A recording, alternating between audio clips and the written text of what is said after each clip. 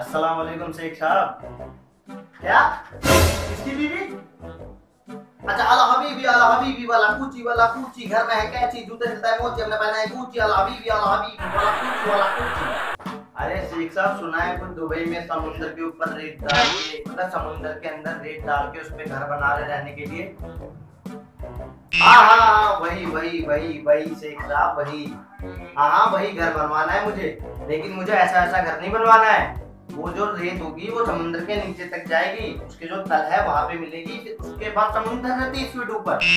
और जो तीस क्या? अच्छा? अरे शेख साहब, रेत की कमी नहीं है। पूरा राजस्थान खरीद रखा है मैंने। जब कहोगे तब भिजवा राजस्थान से अपने प्राइवेट जेट में डाल के। रेत की कमी नहीं है, और कमी पड़ जाए तो दुबई से पूरी रेत खरीद के ला दूँगा आपको।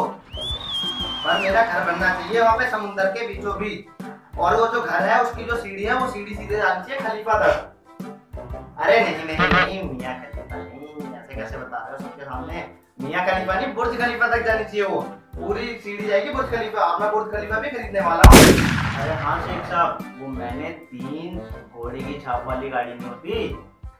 अरे क्या नाम है उसका हरारी। हाँ हाँ हाँ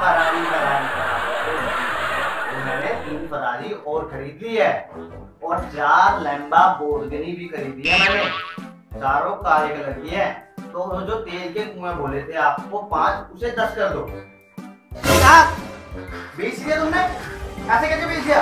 वो दीन ईमान धर्म है नहीं तुम्हारा? ऐसे तुमने लास्ट टाइम मुझे दुबई का एयरपोर्ट नहीं दिया था। और अब तेल के कुएँ बेच दिए। जो चार लैम्बा बोर्गिनी और तीन हरारी खरीदी है मैंने, उन्हें चलाऊँगा कैसे? पानी से हाँ, रख दे सर पे मेरे रख दे। सुन बे शेख। अबे हबीबी क्या तेरा तेल लेने। और क्या बल्ला बल्ला का बना बल्ला और डाल अपने पिछवाड़े की जेब में। साले तेरे सारे तेल के कुएँ में आग लगा दूँगा। और तू जानता क्या है मुझे? साले हर गली में पचास टट्टी का कुआँ मेरे। अबे तेल के कुएँ है टट्टी के क्या घूम है? हर गली में पचास तेल के कुएँ मेरे।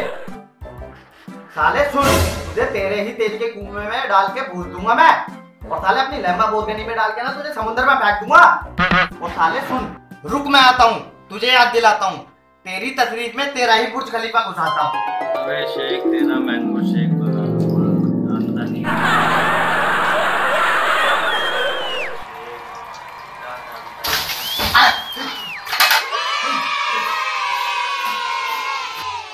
भाई साहब। कौन सा सपना देखा आज? हराम खोर बर्तन की तरह ताऊ धोएगा जल्दी से बर्तन धो वहाँ पे झाड़ू पोछा भी करना है। दिन भर सपना देखना और सोते रहना।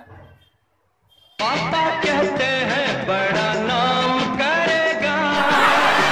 बेटा हमारा ऐसा काम करेगा।